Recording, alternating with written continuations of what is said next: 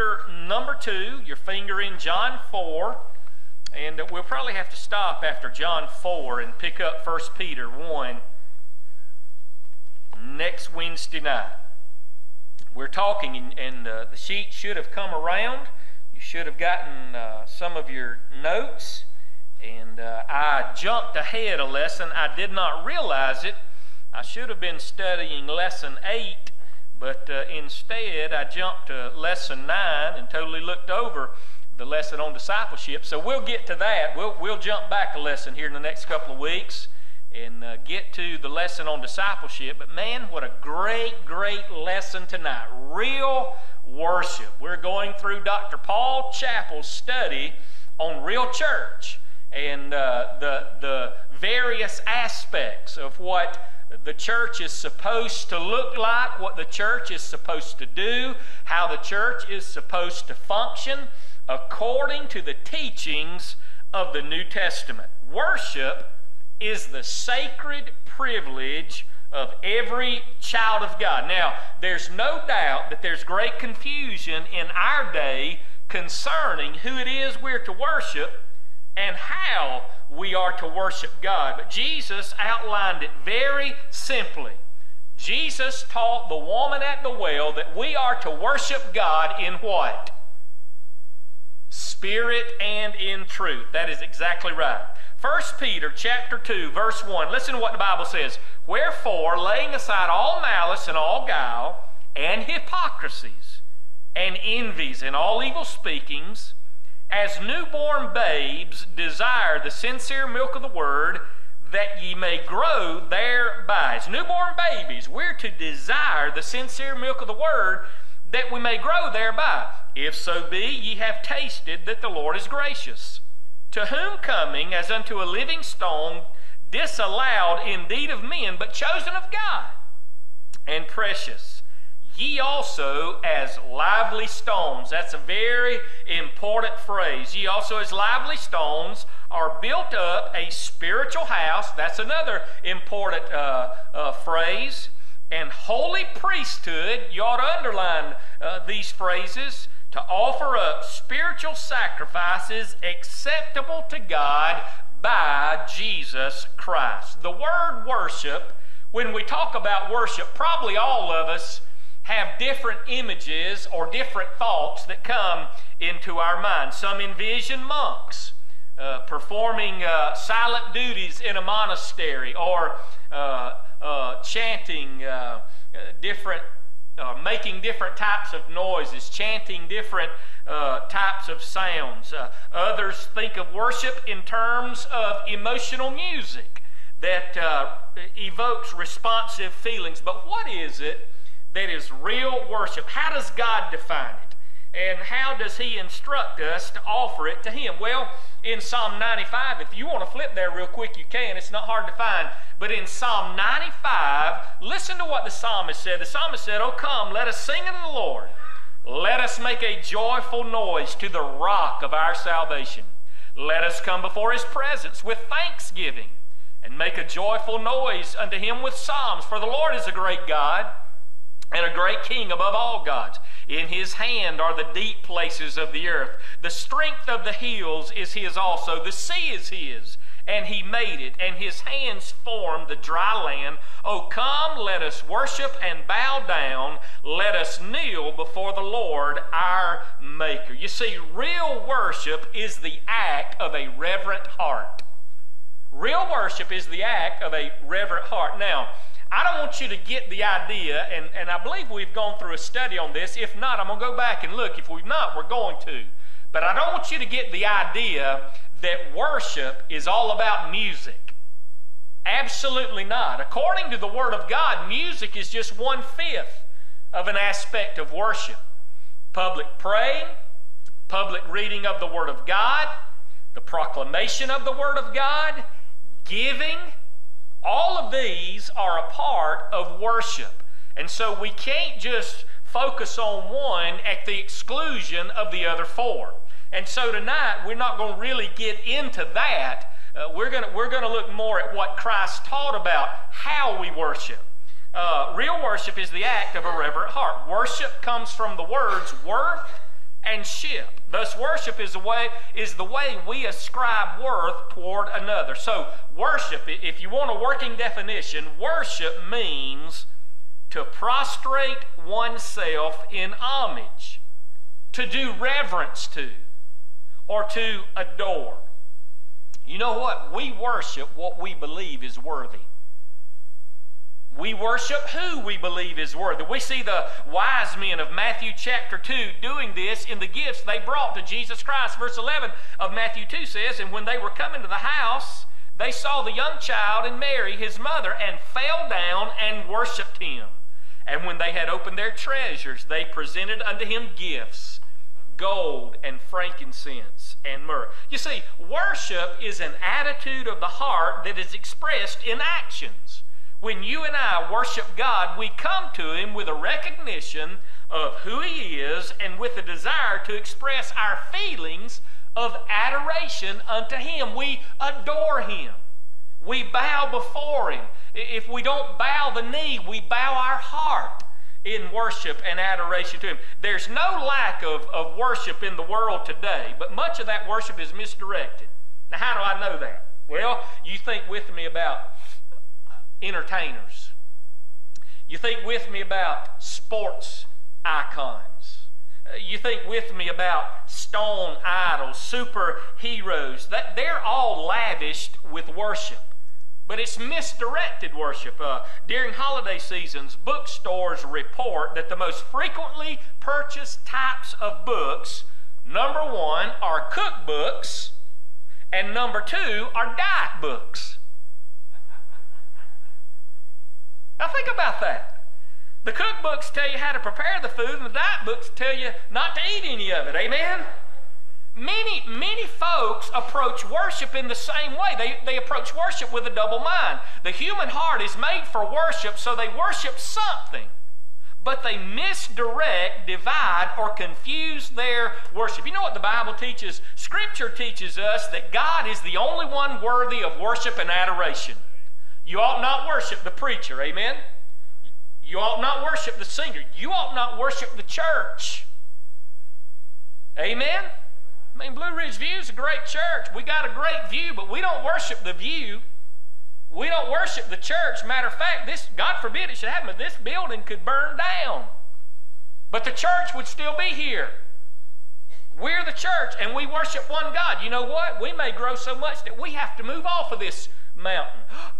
Preacher, did you say that? I sure did. We may have to relocate one day to have more space, to do more things, to reach more people. So, we, you know what? I've been here 17 years. I can say this. This is not a sacred cow, amen? I mean, it's a beautiful place. It's a beautiful place, but we don't come to worship where we worship. We come to worship who we worship, amen? I think that makes sense anyway. Uh, Revelation 4.11, Thou art worthy, O Lord, to receive... Now, some of you turn me off and you're already mad at me. Don't, don't be mad. Take it up with the Lord. Thou art worthy, O Lord, to receive glory and honor and power, for thou hast created all things, and for thy pleasure they are and were created. Revelation chapter 5, listen, verse 11. And I beheld, and I heard the voice of many angels round about the throne, and the beast and the elders. And the number of them was 10,000 times 10,000, and thousands of thousands, saying with a loud voice, Worthy is the Lamb that was slain to receive power and riches and wisdom and strength and honor and glory and blessing. And every creature which is in heaven and on the earth and under the earth, and such as are in the sea, and all that are in them, I heard, heard I saying, Blessing and honor and glory and power be unto him that sitteth upon the throne and unto the Lamb forever and ever. You see, real worship comes from the heart that finds an outlet in actions to express love for Jesus Christ. So, our text for this lesson, beginning out, spells out some specifics regarding how we express our worship to the Lord. So, if you've got your notes and you're filling in the blanks, number one, write this down the people of worship the people of worship. Now, the unsaved world most definitely uh, can misdirect their worship, and, and they do. Uh, but as God's people, we know who we worship, and we rejoice in the privilege of worshiping Jesus with our church family.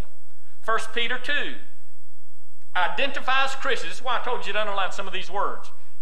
1 Peter 2 identifies Christians with two titles, both of which point out the importance of our worship being directed to Christ. 1 Peter 2, verses 4 and 5. To whom coming as unto a living stone, there's one, disallowed indeed of men, but chosen of God, and precious ye also, listen, as lively stones, as lively stones, are built up a spiritual house and holy priesthood. So, really, it's lively stones and priesthood that we should focus on right here. He says, he talks about the lively stones. Now, you and I know that Jesus is the chief cornerstone of the church. Amen? Ephesians chapter 2 and verse 20, the Bible says Jesus is the chief cornerstone. But we're connected to Jesus, and here we're called a living stone. We're lively stones that make up the spiritual house of the church. The church is not comprised of the physical building in which we meet, it's built of the lively stones that are solidly connected to Christ through salvation and to one another in the church. So, as a spiritual building, the Bible, Paul says, we are the pillar and ground of truth, responsible to lift the truth high for all to see. 1 Timothy chapter 3.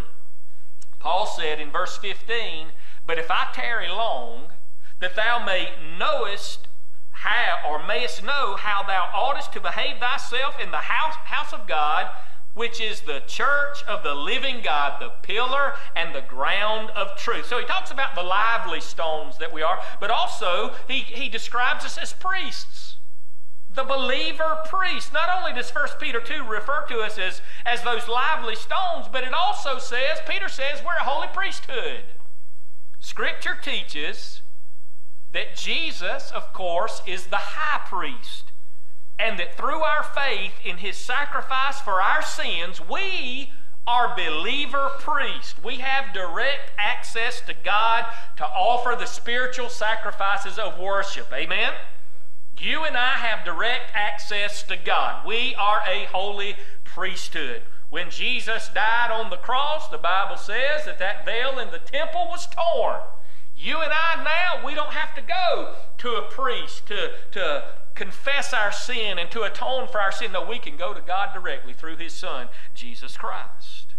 Young or immature Christians sometimes identify worship as only what happens on the platform in a church service. Now, think about this.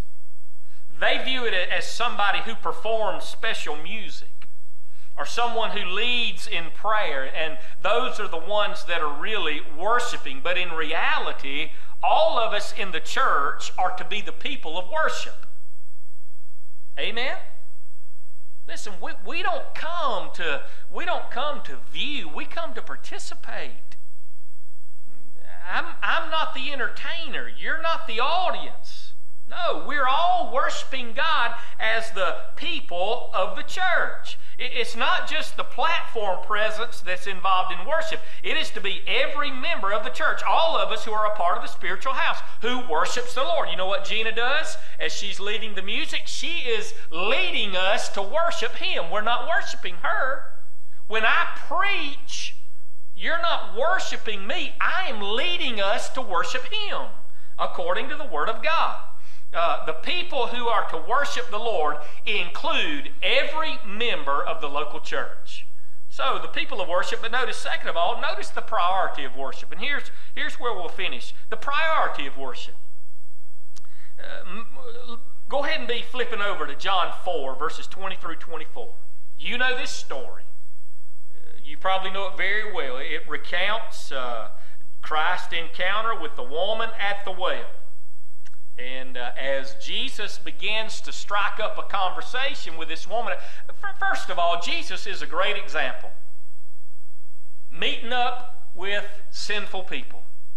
You know, sometimes we get so concerned about, about ourselves and we ought to hang around the right people. You know what? Sometimes we need to be hanging with the wrong people. Amen? I didn't say partaking in what they're doing. We need to be building relationships with them. Christ is the example of that. You know where Christ went? He went to publicans.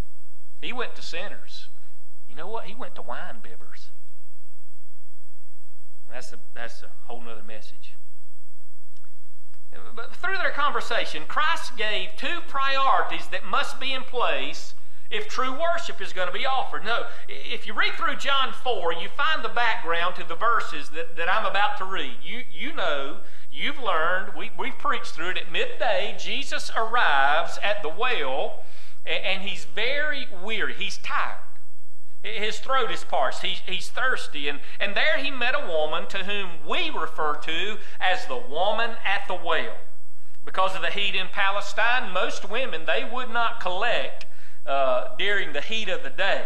Matter of fact, that was kind of a gathering place for the ladies. They may go in the morning or they may go uh, late in the evening, uh, but they would go there and they would gather together. But this woman is here in the heat of the day, in the middle of the day, on a hot day, and she's by herself.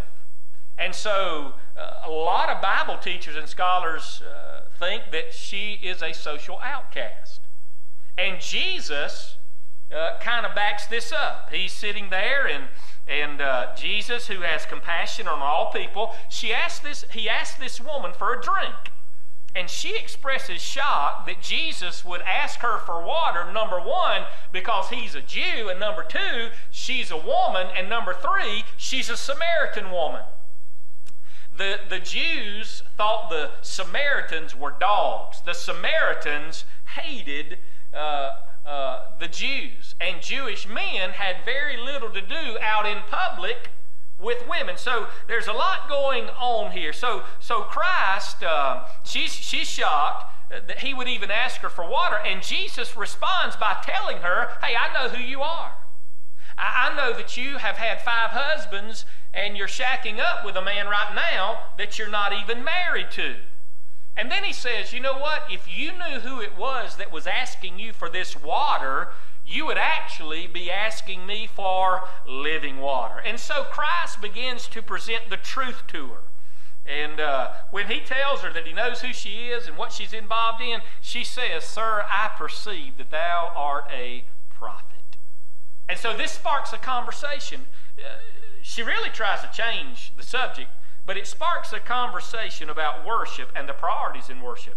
Notice what, what's said in verse 20. Our fathers, she says, worshiped in this mountain. And you say that in Jerusalem is the place where men ought to worship. Jesus saith unto her, Woman, believe me, the hour cometh when ye shall neither in this mountain nor at Jerusalem worship the Father. You worship you know not what. We know what we worship, for salvation is of the Jews. But the hour cometh, and now is, when the true worshiper shall worship the Father in spirit and in truth, for the Father seeks such to worship him. And then listen to what he says God is a spirit, and they that worship him must worship him in spirit and in truth. So by the end of the conversation, the woman at the well had not only put her faith in Jesus Christ, but she went to witness to others as well. That is the natural reaction of a life truly changed. When Christ changes us and saves us, we want to tell somebody. We want others to know. But, but go back to Christ's statement in verse 24. God is a spirit, and they that worship him must worship him in spirit and in truth. So, two priorities that Christ gives here for real worship. Number one, we worship in the spirit. We worship in the spirit. The spirit of man is that part of man that has the ability to fellowship with the Lord. This part is brought to life uh, at the salvation, at salvation by God's Holy Spirit. So we can only worship in the Spirit if we've been born again by the Spirit. When we worship in spirit, we're worshiping God with our spirit, which the Holy Spirit has empowered to do it, has enabled to do it. John 3, verse 6 That which is born of the flesh is flesh and that which is born of the Spirit is spirit. Marvel not that I say unto thee, you must be born again. You see, a lost man can't worship God. That's why his worship is misdirected. Only those that have been saved by grace, only those that have the Holy Spirit of God dwelling within them, can truly worship God and worship Him in spirit. At the moment we trust Christ as our Savior, the Holy Spirit of God takes up residence in our lives. Ephesians 1, in whom ye also trusted, after that ye heard the word of the truth, the gospel of your salvation, in whom also, after that you believed, you were sealed with that Holy Spirit of promise, promise, which is the earnest of our inheritance until the redemption of the purchased possession under the praise of his glory. 2 Corinthians chapter number 1. Now he which establishes us with you in Christ and hath anointed us is God who hath also sealed us and given the earnest of the Spirit in our hearts. It is the Holy Spirit of God that enables us to worship in a way that's pleasing to God. In fact, it's the Holy Spirit Himself who stirs in our hearts the very desire to worship God in truth and in spirit. I believe with all of my heart if a person is truly born again, they can't come in here and not worship or not have the desire to worship one of the ways you know you're saved is that you have a desire to worship Almighty God. You got a desire to, to sing. You got a desire to read the Word of God. You have a desire uh, to pray. You have a desire to give, to sing. John 16, howbeit, when He, the Spirit of truth, is come, He will guide you into all truth. For he shall not speak of himself, but whatsoever he shall hear, that shall he speak, and he will show you things to come. He shall glorify me. You know what the Holy Spirit of God does? It, he glorifies the Lord Jesus Christ. For he shall receive of mine and shall show it unto you. Listen, any any parade that marches anything or anyone above Jesus Christ is not of God. I'm talking about in the religious realm. You hear a lot of these ministries, and all they talk about is the Holy Spirit, the anointing, being baptized in the Spirit. Always remember, Jesus said the Holy Spirit has come or will come to glorify me. Just think, of, just think about that. So uh, we worship in the Spirit, but we worship in the truth. If we're going to worship God in truth, we must first accept the truth uh, as Jesus and the woman at the well conversed, she, she tried to divert the conversation and talk about the location of worship rather than the object of worship. And people still do that today. As you try to speak to them about Christ, you know what they'll say? They'll say, Well, you know, I go down here to this church. I, I go uh, uh, to St. Mary's, or I'm a Lutheran, or I go down to the Methodist church. But listen to me true worship is not about a place, true worship is about a person. Jesus. When Christ told the woman that salvation is of the Jews, he was referring to himself as the Messiah and Lord. In John 14, Christ clearly states that he's the only way to the Father. I'm the way, I'm the truth, and I am the life. No man cometh to the Father but by me. So any person or church who teaches that there's any other way to heaven than through Jesus and his blood, they don't understand the truth much less do they understand true worship. So always remember, true worship centers around Jesus Christ. Now, a group may have a worship service where they sing, give, light incense, whatever you want to call it, teach, chant, but if they don't lift up Jesus Christ in truth, then they've not had biblical worship. A lot of, lot of people today confuse worship with emotion. I, I talked about this a couple of weeks ago. You know, some people think that you know, just because uh, uh, the praise group comes out and sings or the praise band has a jam session, uh, they experience an emotional high and they think they're worshiping the Lord. But then that same church preaches the Word of God and lifts up Jesus. The people wish the sermon was shorter and they want to get out in a hurry. Now, something's wrong there. Amen? That's not worship, that's emotion. And I know emotions are involved in worship. Emotion, emotions are involved in worship. Listen to me. We've got to we've got to worship in all aspects of worship. Worship is not about a feeling; it's about Jesus. Why? Because Jesus is the truth. True spirit-filled worship will no doubt include emotion, but the emotion is not the center. Jesus is the center. I, I would love for everybody to go out every Sunday and and not, not necessarily say, Preacher, what a sermon. Gina, what a song the choir sang. You know what? When, when we really worship, we'll go out and say, Man, what a Savior. What a God. Because we, we focused on Him. Uh, emotion is simply a heart level response to the truth. Uh, as Jesus talked with the woman in John 4, he didn't budge from the truth. He didn't say, you know, uh, you know, you worship at Mount Gerizim and I worship in Jerusalem. At least, at least we both worship somewhere. And as long as you worship, that's the most important thing. I'm, I'm sorry I bothered you. But Jesus didn't say that. He firmly and lovingly told her she must believe the truth in order to worship in spirit and in truth. Well, one preacher said, and I believe this, I believe it with all my heart. He said, It's better to be divided by truth than to be united in error. A lot of people say, a lot of people say, well, you know what? The number one thing that, that a church must have is love. The number one thing that a church must have is unity and harmony. No, my friend, the number one thing that a church ought to have is the truth of the Word of God. Do you know what? Sometimes the truth divides.